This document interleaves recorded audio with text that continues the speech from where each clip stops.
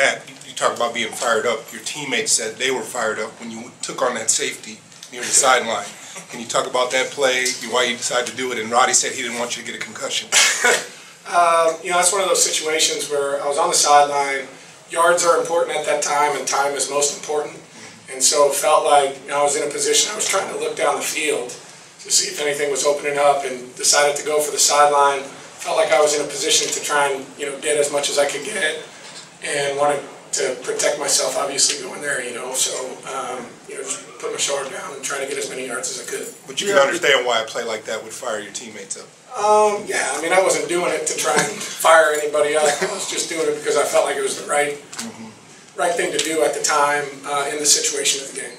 Matt, when, when you guys win on the day where Matt Bryant banks two off the uprights, and you have three turnovers, and you have a touchdown reversed in the last minute, and you went anyway, do you, do you allow yourself to maybe look past the, the here and now of the game and just say, "We- we're on to something here? Um, you know, I think good teams find way, find ways to win, uh, even when it's not pretty.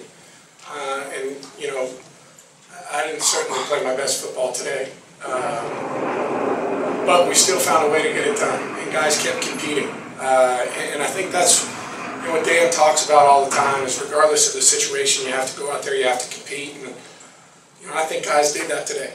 And uh, hopefully, you know, regardless of how the rest of the season shakes out, I mean, we can't worry about that. We're going to take it one game at a time. But, you know, if we continue to do that, I think we'll be okay.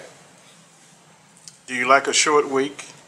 Because you got one coming up, you'll be back at it on Thursday against the arch rivals.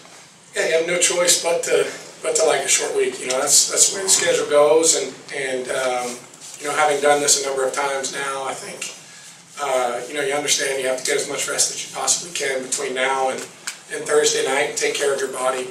Uh, we'll be on top of our game plan. I, I don't have any you know concerns about that.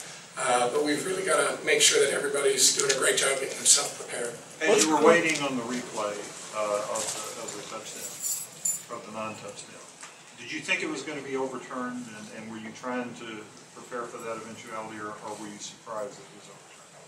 Um, you know, at this point, I think playing as long as I have, I think when you're in those situations, nothing surprises you. Uh, you know, you don't know how it's going to shake out. So I always, in those situations, have prepared for what do we got to do if we're back on the field. Uh, I think that, you know, you, you know, hope for the best and prepare for the worst. I mean, that's, that's kind of the way I always approach that. And so we kind of knew what we wanted to do in that situation. I thought Kyle caught a great play. Uh, and Roddy, you know, was, um, you know, did a great job of beating man-to-man coverage uh, in a tight situation.